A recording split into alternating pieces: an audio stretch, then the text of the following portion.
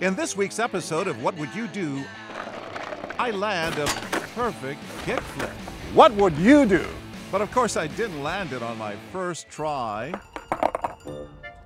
or my second, or my fifth. But I'm a professional, and like they say, practice makes uh-huh. perfect. What would you do? For more deleted scenes and exclusive web extras, subscribe to What Would You Do's official YouTube channel.